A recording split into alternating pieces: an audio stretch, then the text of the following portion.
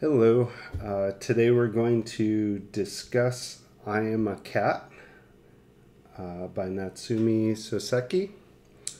Um, and uh, first, a little bit of review, and then we're going to jump into background and the text itself and discuss some of the homework questions. Um, so, uh, sometimes I'll give you the background before you read a text. Uh, in this case, we'll just do the background uh, as we're discussing the text. Um, it basically determines how much I want you to know going into a reading.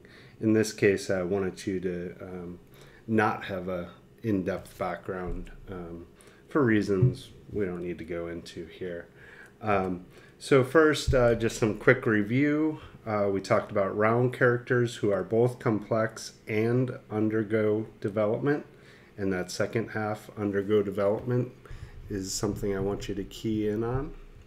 And we talked about flat characters, characters who are simple and do not undergo development, have epiphanies, or change in a major way. Um, and how we talked about how uh, flat characters uh, can sometimes be used to universalize the character, help you identify, or in other times it can be used to um, resist uh, your urge to identify with character. Like uh, uh, Daphne in the Kugelmass episode, we didn't. Uh, he didn't want you to identify or sympathize with Daphne. And then satire, which uh, was both the Kugelmass episode and it's also going to be today's reading, I Am a Cat. It's a comedy or drama that criticizes individual flaws and or social traditions. Okay, so with the Kugelmass episode, we talked about midlife crisis.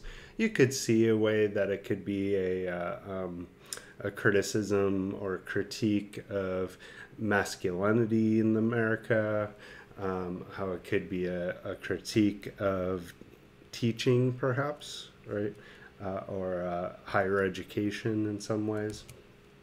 Um, we talked about with uh, allegory of the cave symbols, a word, place, character, or object that means something beyond what it is on a literal level, uh, peace sign, um, dove, Nazi symbol, etc. Um, then we talked about we talked about allegories uh, many interconnected symbols or figures in such a way that nearly every element of the narrative has a meaning beyond the literal level.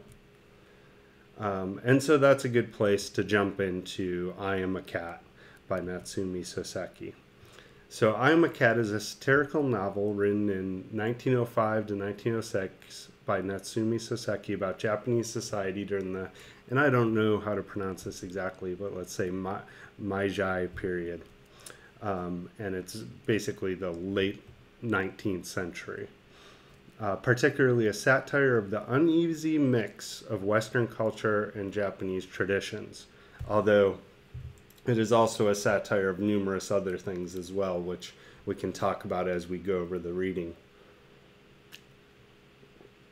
So, Soseki's original title, of which there's no exact translation, uses a high register phrasing more appropriate to a nobleman, conveying self importance and intended to sound ironic, since the speaker is an anthropomorphized domestic cat.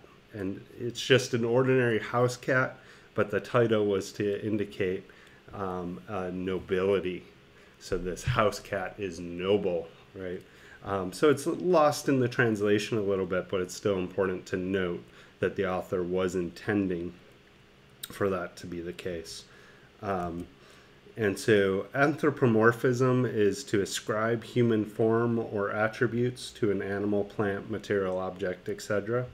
Um, and just uh, um, this isn't important. I'm not going to uh, um, uh, focus on this, but uh, just so you know, there's a slight difference between personification and anthropomorphism.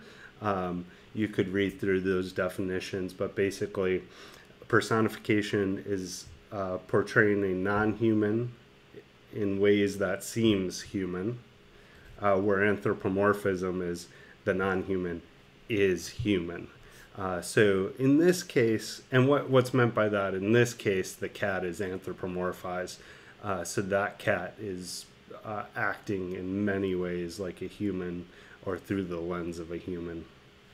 Um, where if you say, uh, um, um, if you say that uh, uh, a plant um, has an arm or something like that, um, it's that's not the best example, but that's a personification in a way. The eyes of the lily stared back at me, you know, something like that. Um, so now, um, Soseki is generally judged to be the greatest novelist of that period when the influence from the West was arriving in Japan in almost overwhelming waves. Uh, this is called Influence of the West, is called uh, Cultural Imperialism. And uh, um, in part, he, he died a short life. He died in his 40s. Um, and, and because of that, he really captured the essence of that period and, and was one of those authors that they just said and, ca- and captured the um, thoughts and feeling of the moment in history. Um, so he captured the essence of what uh, that period struggled with, the enormous possibility and problems posed by interactions with the West. So, um, and cultural imperialism is a policy of extending a country's power and influence in this way through culture, right? So American values are often um, portrayed and, and pushed throughout the world by something like Hollywood or our music industry, uh, and that would be a form of cultural imperialism. Um, so, what themes do you think would be common in literature from a period like that? Um, I want you to think about that a little bit. I'll I'll talk about one or two, but there's many themes. Uh, uh, first, a cultural unease um, uh, that you're just not sure of. Uh, you're questioning your traditions. You're fearing what's coming. Um, so a fear, right? Um, you're questioning what's important about your past and your traditions and your customs and what could be eschewed for a more modern Western lifestyle. Um, and you begin questioning almost everything about your culture and you start questioning what's real, what's not, what's um, um, truly it means to be Japanese in a globalized world and that's uh, uh, what this author was wrestling with. So let's dig into the story, and I think as we uh, go over some of the story, I think it'll get at some of the questions from the homework.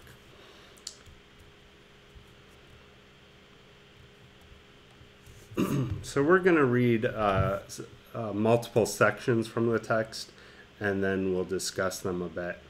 So I am a cat but as yet I have no name. Okay, so a cat with no name.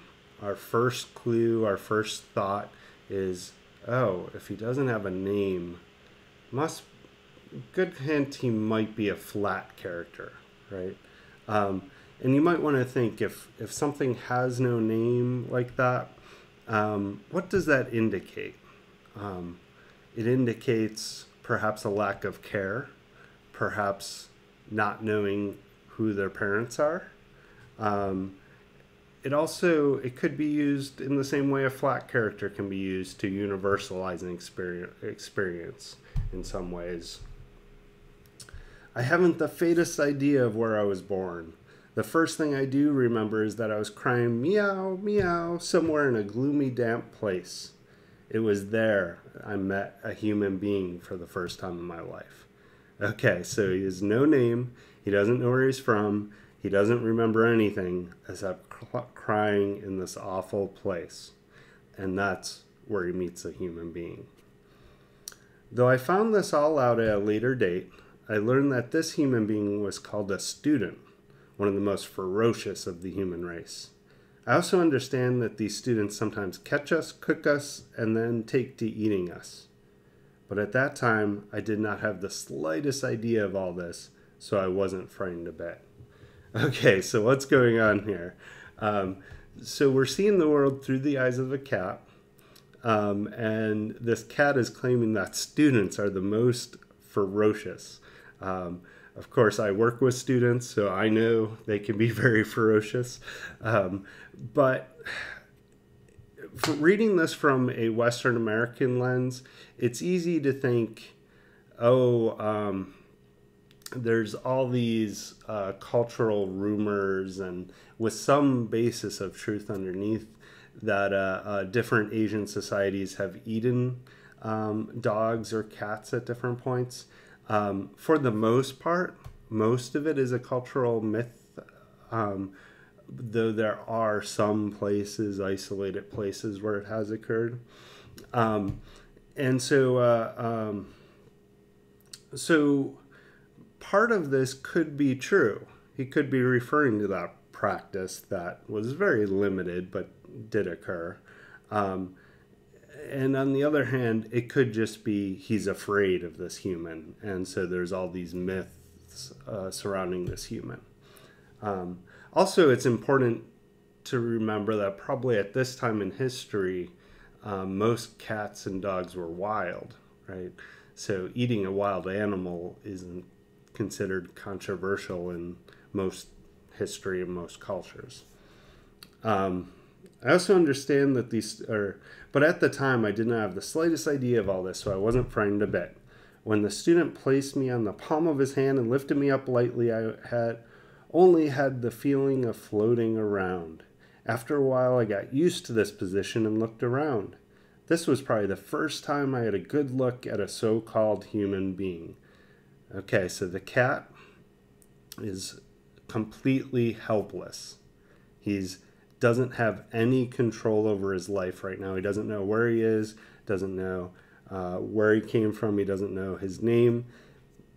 And the student has complete control over his body.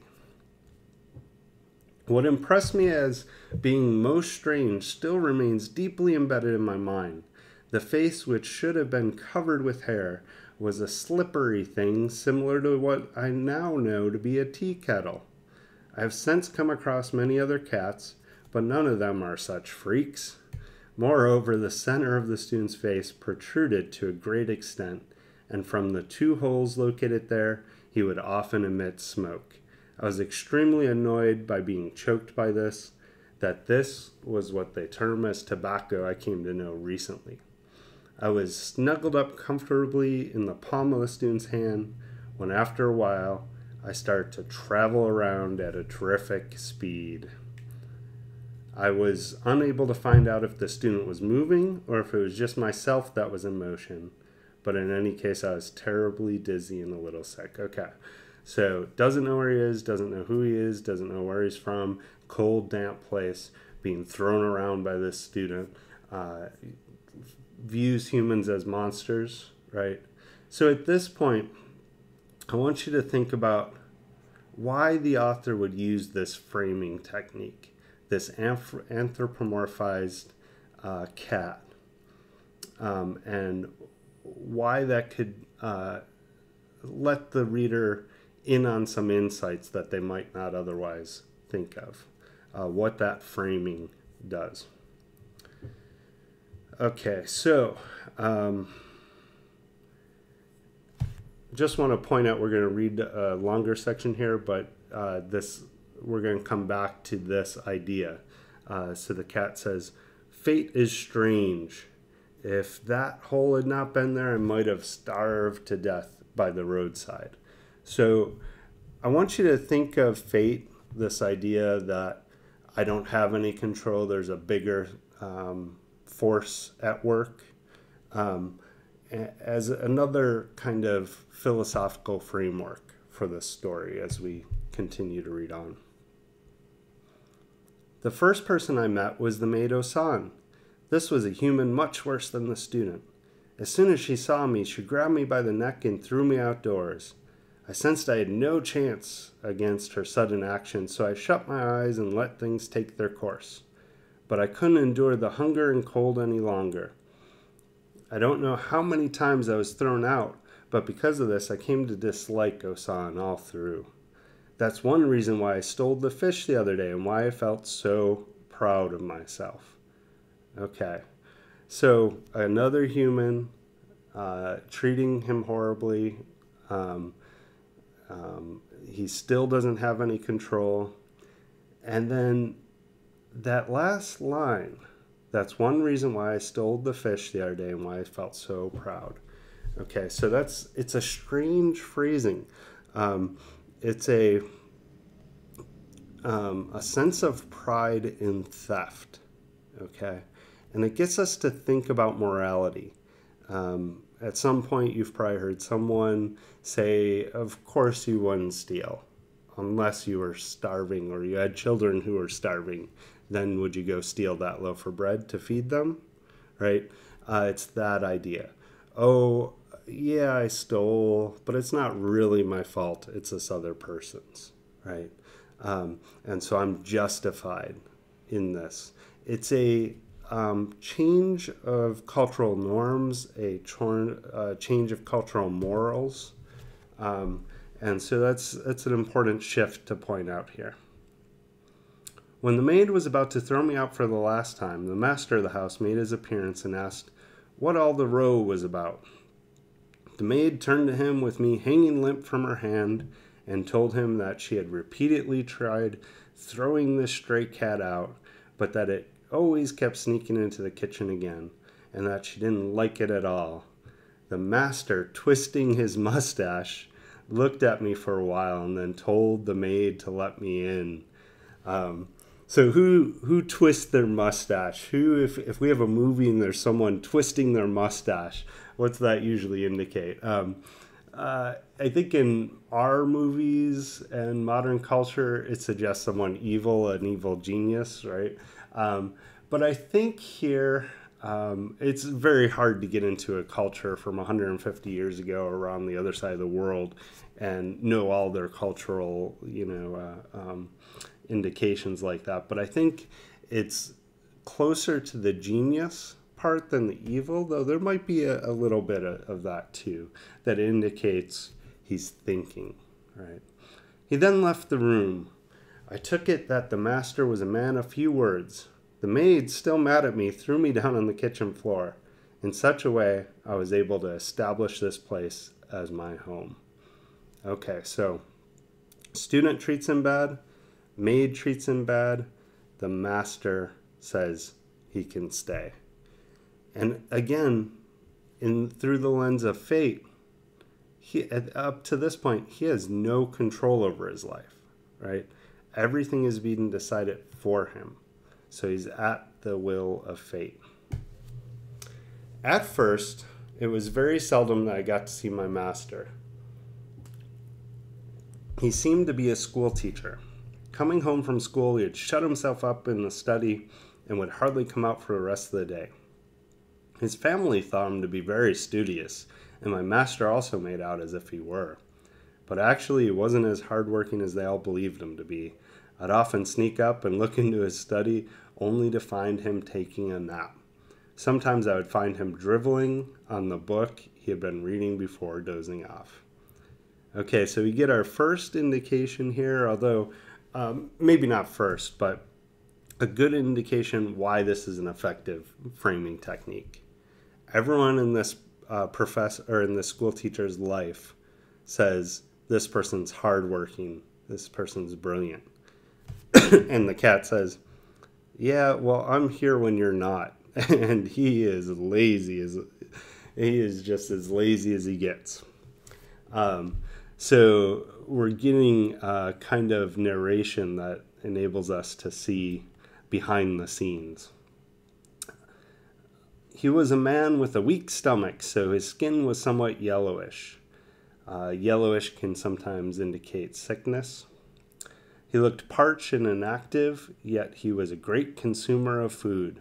After eating as much as he possibly could, he'd take a dose of taka diastase and then open a book. It's a, a tonic for the stomach or a tincture for the stomach. After reading a couple of pages, however, he became drowsy and again commenced drooling. This was his daily routine. Um, though I'm a cat myself, at times I think that school teachers are very fortunate. If I were to be reborn a man, I would without a doubt become a teacher. If you can keep a job and still sleep as much as my master did, even cats could manage such a profession. But according to my master, and he makes it plain, there's nothing so hard as teaching. Especially when his friends come to visit him, he does a lot of complaining. So, um, first, this passage always gets me to uh, flash back and think of how many times I've complained about how busy I am as a as a professor, um, and uh, you know, think about if there were any times I exaggerated. So it calls me out here, um, and so in that way, it could be a, a satire on educators or school teachers, right? So that's something we want to keep in our mind. Um, but again, we get the be- behind the scenes look here, right? And and also um, this kind of shifting point of view again that um, oh, even a cat could do this, right? Um, something that humans tend to think is so hard. He's saying even a cat could do it. When I first came to his home, nobody but the master was nice to me. Wherever I went, they would kick me around, and I was given no other consideration. The fact that they haven't given me a name, even as of today, goes to show how much they care for me. That's why I try to stay close to my master. So even though the master is lazy and and um, not as hard as he presents himself as hardworking, um, this cat cares for him and appreciates him. Uh, the master gave him his home and treats him better than any other human he's come into contact with. In coming to live with human beings, I've had the chance to observe them, and the more I do, the more I come to the conclusion that they're terribly spoiled, especially the children. When they feel like it, they hold you upside down or cover your head with a bag, and at times they throw you around or try squeezing you into the cooking range. And on top of that, should you as much as bear a claw to try to stop them, the whole family is after you. The other day, for instance, I tried sharpening my claws just for a second on a straw mat of the living room when the missus noticed me. She got furious, and from then on, she won't let me in the sitting room.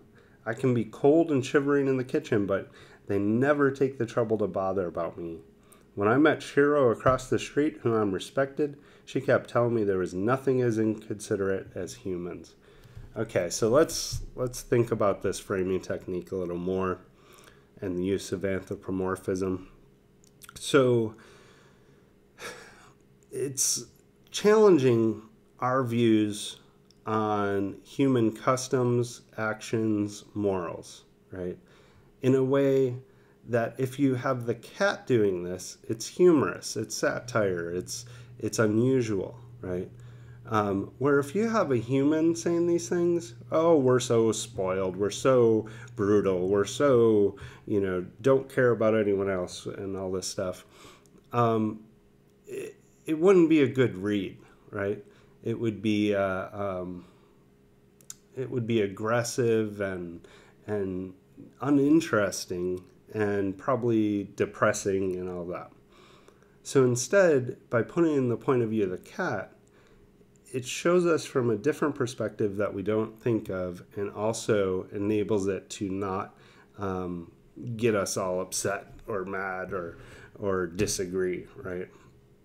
Um, so that's kind of the power of of personification or anthropomorphism in that way. Um, it gets you to rethink who we are and what we are. Only the other day four cute little kittens were born to shiro but the student who lives with the family threw all four of them into a pond behind the house on the third day. Shiro told me all this in tears and said that in order for us cats to fulfill parental affection and to have a happy life, we'll have to overthrow the human race. Yes, what she said was all very logical. Mikey next door was extremely furious when I told him about Shiro. He said that humans did not understand the right of possession of others. With us cats, however, The first one that finds the head of a dried sardine or the navel of a gray mullet gets the right to eat it. Should anyone try to violate this rule, we're allowed to use force in order to keep our fine. But humans depend on their great strength to take what is legally ours away from us and think it right. Okay, so again, we get how cruel humans are. Um, it also gets us to think how random some of our values or morals are. Um, for example, um, when you hear about a human uh, abusing a cat or a dog, most Americans tend to get upset, right? Uh, tend to think that's awful, that's horrible. Uh, it's often a gut reaction. Uh, we put people in jail for it, like Michael Vick, right? Um, however, you could uh, beat a cat or a dog on the end of one street and get thrown in jail for it. On the other end of that street, you could hit a pig or a cow over the head with a sledgehammer in a uh, kill shop, right? And you get paid $15 an hour to do it, right? And that's socially acceptable, that's morally acceptable, even though biologically pigs are smarter than dogs. Um, and so it's a moral structure that we've created that says even though this animal's smarter than a dog or a cat, um, in our society it's okay to kill or hurt um, or be cruel to the cow or pig or chicken or whatever. Um, but it's not okay to do that to a cat or a dog, right? That's what our culture sets that up. And you say, but of course, right? Uh, that's only makes sense. Well, it only makes sense from our cultural cave, right? From within our cultural cave. Um, if you're looking at us from the outside, say you're uh, from India, right? Uh, in India, um, cows are viewed as holy, right? And to abuse or to hurt or to eat a cow is a horrendous act um, and would be looked down upon. So we would be viewed as cruel, inhumane, um, and horrific murderers, right, from outside of our cultural cave. On the other end of it, um, I have some friends from the Middle East who, uh, um, when uh, I remember being in a classroom with uh, my friend from Jordan, and one of my American students comes in with a little dog and says uh, to the professor, I'm really, really sorry, but I couldn't find someone to watch my dog, and there, I have no place to put her. I need her to come in with me tonight, and uh, um, uh, but she's really good. She won't make a peep, right? And the professor, of course, said, "Okay, okay." Well, she happened to sit by the door, and my friend from Jordan sat by the window. At the end of class, the girl with the dog um, was talking to the professor. And what I noticed was my friend from Jordan would make every excuse there was to not leave the classroom. I couldn't get her to leave the classroom. And later, uh, I found out in a conversation, it's because she was afraid of the dog. This little itty, you know, cute little dog she was afraid of. And after knowing more and learning more about our culture, um, throughout the Middle East, most dogs and cats are wild. They're not pets. They're not considered. And so they view it the same as if you took a raccoon and brought it into the house. You know, you might be a little uneasy at that, right? So within our cultural cave, certain norms are okay, right? Um, but outside of our cultural cave, um, those norms look strange. So let's see. Coming to think of it, here's some more commentary on uh, on humans. The way they act according to their whims is another word for selfishness. Again, commentary on on humans uh, from an outside perspective. So let's skip down a little bit and we'll go to uh, um, the conversation between the cats. Uh, I live here in the school teacher's house. I thought so. You sure are skinny. Gathering from his rudeness, I couldn't imagine him coming from a very good family. But judging from his plump body, he seemed to be well fed and able to enjoy an easy life. As for myself, I couldn't refrain from asking, And who are you? Me? Huh? I'm Kuro, living at the rickshaw man's place. And uh, let's just pause there for a second in case you don't know what a rickshaw man is. Uh, this is, uh, um, they drive these little carts, uh, and this is an older picture, um, actually about 50 years after the story we're reading about. Um, but you can imagine that the rickshaw driver, it's not a prestigious profession, right?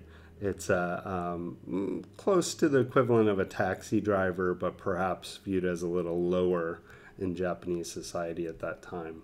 Uh, it's hard work, it's not paid very well, um, and uh, although I imagine you get some good sunlight and exercise. okay, so. So this was the cat living at the rickshaw man's house. He was known in the vicinity as being awfully unruly, Actually, he was admired within the home of the rickshaw man, but having no education, nobody else befriended him. He was a hoodlum from which others shied. When I heard him tell me who he was, I felt somewhat uneasy, and at the same time, I felt slightly superior.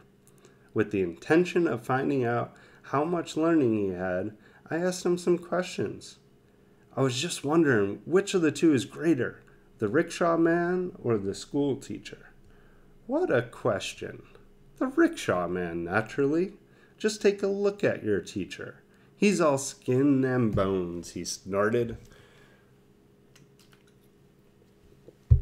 You look extremely strong. Most probably living at the rickshaw man's house, you get plenty to eat.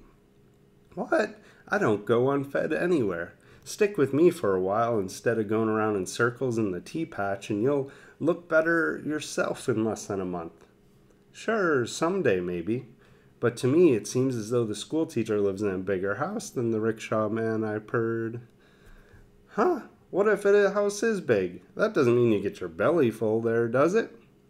Okay, so what we have here are some so, commentary on social class, a commentary on social norms, a commentary on values, uh, value structure, right? Um, so this is very much tied to Plato's allegory of the cave, uh, just as the um, um, the prisoners were were uh, having contests over who could name the shadows quickest and stuff like that um, to show and maintain social status inside the cave. Inside this cultural cave, right? Um, they're saying what matters the most is not how big your cave is, right? What matters most is how full your belly is. Okay, so he's upending a cultural norm. And you can imagine that being kind of a commentary on materialism to begin with, you know. So, um, what's it matter how big your house is? Are you being fed, you know, physically or even spiritually, right?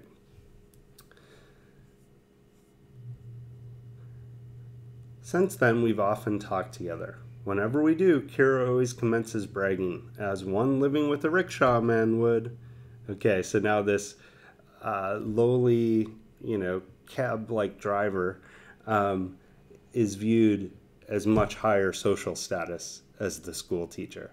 Uh, which, by the way, in, in Japanese society, the school teacher is considered one of the most honorable people there could be.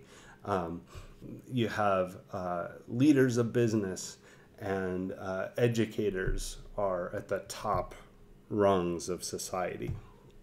Uh, it's so much so that uh, my wife works with international students, and she often has to talk to professors about working with students from Asian countries. In that uh, a lot of those countries, uh, this cultural norm is not to look a teacher or professor in the eyes. that because they are of a higher social status, you're supposed to always avert your gaze and, and look downward when there's a professor or teacher talking to you. Um, and so my wife often has to hold kind of cultural awareness lessons on how it's not a sign of disrespect, it's actually a sign of respect, right? So, by the way, how many rats have you killed? Intellectually, I'm much more developed than Kuro, but when it comes to using strength and showing bravado, there is no comparison. I was prepared for something like this, but when he actually asked me the question, I felt extremely embarrassed. But facts are facts, I could not lie to him. To tell you the truth, I've been wanting to catch one for a long time, but the opportunity has never come. So he's saying he's smarter than Kuro, but obviously Kuro is better at catching mice, right? Um, so um, Kuro twitched the whiskers which stood out straight from his muzzle and laughed hard. Kuro is conceited as those who brag usually are, so when I find him being sarcastic, I try to say something to appease him. In this way, I am able to manage him pretty well. Having learned this during our first meeting, I stayed calm when he laughed. I realized that it would be foolish to commit myself now by giving unasked for reasons. I figured it best at this stage to let him brag about his own adventures, and so I purred quietly. Being as old as you are, you've probably caught a lot of rats in your, yourself. I was trying to get him to talk about himself, and as I expected, he took the bait. Well, can't say a lot, maybe about 30 or 40. He was very proud of this and continued. I could handle one or two hundred rats alone, but when it comes to weasels, they're not to my liking. A weasel once gave me a terrible time. Okay. So again, this is even clearer uh, example of prisoners in the cave uh, measuring and counting and um, figuring out social status by the shadows, um, by identifying shadows.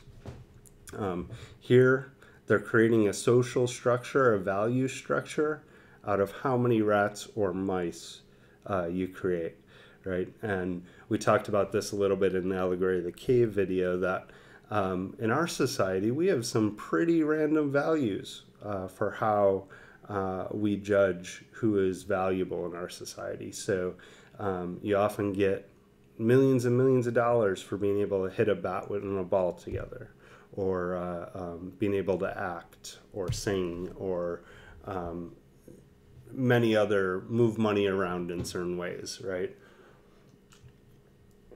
And so we have really random value systems with who should get paid the most and who not, right? a soldier barely gets an extremely low paycheck, um, but a a you know uh, an athlete or a um, musician or that who does well gets paid a lot. Um, and that's what Plato was talking about. Challenge those value structures. Determine should we really be living by those value structures. Okay, so Here is a kind of an example of metafiction. So let's take a look in on this. Listening to all this from the veranda, veranda, I couldn't help wondering what my master would write in his diary about that conversation. This artist was a person who took great pleasure in fooling others, as if he did not realize how his joke about Andrea del Sarto hurt my master. He boasted more. When playing jokes, some people take them so seriously that they reveal great comic beauty, and it's a lot of fun. The other day, I told a student that Nicholas Nickleby had advised Gibbon to translate his great story of the French Revolution from a French textbook and to have it published under his own name. This student has an extremely good memory and made a speech at the Japanese Literature Circle quoting everything I had told him. There were about a hundred people in the audience and they all listened very attentively. Then there's another time. One evening at a gathering of writers, the conversation turned to Harrison's historical novel, Theophano. I said that it was one of the best historical novels ever written, especially the part where the heroine dies. That really gives you the creeps. That's what I said. An author who was sitting opposite me was one of those types who cannot and will not say no to anything. He immediately voiced opinion that this that that was a most famous passage. I knew right away he had never read any more of that story than I had. Okay, So if I was to say this scene of this artist talking about being uh, basically bullcrapping, right, um, at literary events, um, if this was a commentary on literature itself, the nature of fiction or literature itself, um, what could he be saying? You know, what by saying uh, there's all these people just making stuff up and agreeing with each other and pretending to know stuff they don't. Well, he could very much be saying that these wealthy academics are full of crap, right? Couple this together with uh, a school teacher who claims to be hardworking but's really lazy, and this is a social criticism of uh, educated, high ed- highly educated society. And in Japanese culture, that's that's kind of controversial. You know, these very very well respected educators he's critiquing. Okay, so this gets us to the um, the final the end of the text here, um, and I want to point out a literary technique he's using. Um, so first, I'm going to read this paragraph, and I want you to think how this paragraph it's it's different than most of the rest of the story. Why he would use it uh, towards to wrap up his story, and why um, what purpose this description has. The red leaves of the maple tree were beginning to show contrast to the green of the pines and there here and there. The maples shed their foliage like dreams of the past. The fluttering petals of red and white fell from the tea plants one after another until there were none remaining. The sun slanted its rays deeper and deeper into the southern veranda, and seldom did a day pass that the late autumn wind didn't blow. I felt as though my napping hours were being shortened. My master still went to school every day, and coming home, he had still bottled himself. Okay, actually, I'm sorry. I wanted to stop after that first paragraph. So, the purpose of that. What, think about um, in the short story that every single line of description is important, right? Um, and that to spend a whole paragraph on description, that's saying I'm doing something here, right? Um, and so, red leaves of the maple tree, what's that indicate? It indicates it's fall, right? What happens in fall? The plants begin to shed and symbolically die, right?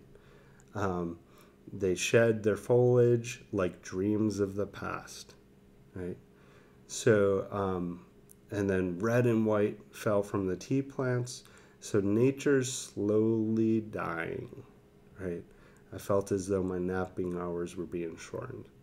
So, in other words, all of this um, scenario is coming to an end.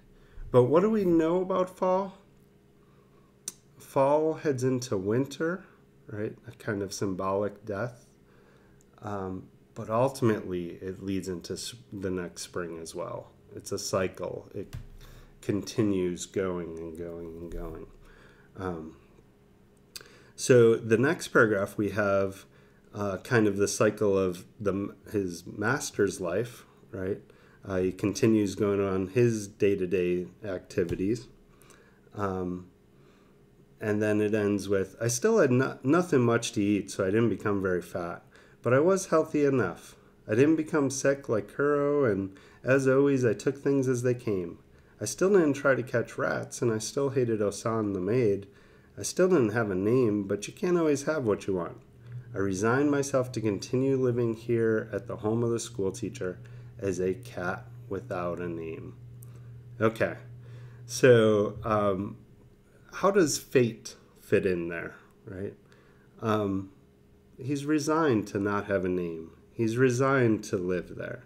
He's resigned to not becoming fat, right? Uh, but getting enough food. Um, and because he's accepted all that, he ends up okay, right? where Kuro always wanted more and more and more, and he ended up sick. Right? So there's a commentary there. If you accept things uh, as they are, you will be okay. Right? Um, So what's interesting about that is it's uh, a Japanese philosophy. Okay, so uh, let me find this here. Um, something called shoganai. Um, and I think the reason I want to point this out is I think it helps us understand the story better. Um, it's a, it's translated as it can't be helped. It's often used to describe Japanese culture, thinking, and values. It's essentially a philosophy. It says that if something's out of your control, it's better just to quickly accept it and move on, right?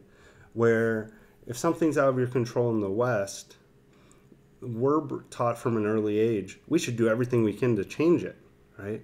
Or we should mourn it, or we should um, grow frustrated and angry, or you know have an emotional reaction and then fight to change or work to change it, right?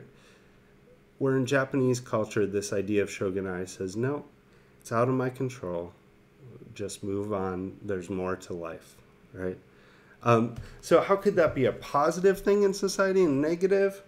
Well, a positive is it helps, uh, it's been shown throughout uh, sociology and history to help the Japanese deal with horrors like um, uh, the bombings in World War II uh, in uh, Hiroshima and Nagasaki, or a recent disaster in Fukushima, right? Um, that it's a, uh, uh, they often recover from disasters very quickly. Re- recover. Um, now the problems that it could have is often Japanese don't tend to stand up for themselves as much as they should. Um, so, for instance, uh, um, often people won't be bothered to vote or to participate in government or to work to change things because shoganai, it's beyond my control, right? So that framework helps us understand the story, and uh, I think it helps us get out of our cultural cave and for a moment get in this Japanese perspective, right? A different cultural cave and say, how would our life be different if instead of getting upset, angry, working to change things, instead we accepted and moved on, right? Accepted and moved on, right? I think that's very challenging to a Western mindset. And so it's something that Plato uh, would say that we should at least be open to. Okay, so I want to um, just hit on a couple more things quick. Um, first, I think we hit on all the questions from the homework. Um, it challenges things like economic class and status and careers.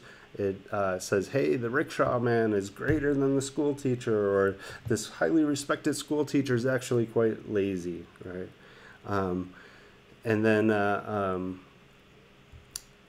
uh, but I want to hit on one last thing. Uh, if we assume this story was illustrative of Japanese views on pets, like cats, then what does it indicate about the Japanese? and how do you think Americans view pets differently? So, um, first, I'll tell you right up front, it's not illustrative of Japanese views on pets, right? Um, and so that's always one of the things we want to avoid is making big generalizations like that. Sometimes in analyzing literature, we need to, right? Um, but in something like this, it could lead us astray. So, where Americans, we tend to anthropomorphize or personify cats and dogs and treat them like little mini humans, right? And when you do that, it actually um, changes the way society or culture acts, right? Um, so the Japanese, just to give you a little background on this, Japanese have had a long relationship with cats. Uh, over a thousand years ago, the upper class were already living with them, uh, and they have shrines that worship cats as gods across Japan. Um, so uh, the Japanese believe in Shintoism and uh, probably a little closer to this, animism, uh, that every living being has a soul, including cats, right? So if it has a soul, it should be respected. They actually have a cat island, right, uh, where cats, there's a, a, hundred cats to every 15 residents. Uh, they have cat cafes. Um, although these are popping up all over the U.S. now as well, where you can go have coffee or drinks and sit with a bunch of cats. Um, but traditionally, they're viewed as good luck. Uh, popular Japanese figurine, uh, and I'll let you guys pronounce that, is typically uh, believed to bring blessings. Um, and you'll see this symbol if you watch any anime or anything to do with Japanese. Um, um, and according to Japanese legend, a landlord witnessed a cat waving a paw at him. Intrigued by this gesture, he came close to the cat when suddenly a lightning bolt struck the exact place he was previously standing in. The landlord believed that his good fortune was because of the cat's actions. Hence, the beckoning hand became a symbol of good luck. Um, so, why is this story so different from actual Japanese culture, right? Why are cats portrayed very differently in this story? All the humans are treating them awfully, right? Um, first, it's uh, because of the time period. It's a different time period, right? Um, but even so, they were still treated a little better. Um, also, individual circumstances, right? Um, so it's an individual story about a few cats in one neighborhood. It could be different in many different ways. Um, most importantly, and probably most likely here, it's merely a, a narrative device um, something that could be used to view humans from an outside perspective. And it's always important to just think maybe a cat is just a cat. Uh, just like a scene can sometimes just be a scene, water imagery can just be water. Sometimes you don't have to overthink it. But in this case, I think the most likely culprit is it's a narrative device. Okay, so um, also it's important to to point out. So here's on naturalism that how uh, um, the third last paragraph, uh, the nature paralleled the story. Um, that's called naturalism, and it's a literary genre that started uh, in the late 19th century in literature, film, theater, and art. Um, and so it's um, um, right around this time period. Of course, it's a little more Western, uh, but it occurred in Japan as well. Um, and this movement suggested the role of family, background, social conditions, and environment uh, shaped human character. So that the environment, uh, humans, uh, social conditions were all intertwined and could not be separated. Thus, naturalistic writers tend to write stories based on the idea that the environment determines or governs human character. So uh, when a uh, human dies, uh, it's a good idea, uh, a naturalistic um, technique to make it winter, right? Um, when a, a new life is born, it's going to most hop, often happen as a narrative device in spring, right? Things of that nature. Um, and so it can it can be used to indicate that, to give foreshadow, to give the reader a hint, right? Um, and so it's good to at least look for naturalism, especially in short stories where, uh, again, any setting should be looked at closely to figure out what the author's doing. Okay, that's where we're going to wrap up for now. Um, you can uh, go ahead and read the next story. Uh, should be The Lottery by Shirley Jackson. Uh, I know many of you have read this in high school. Um, hopefully, we're going to look at a few different things, but more importantly, I think it's going to help us understand other texts we're looking at this semester. So uh, that's all for now. Thanks.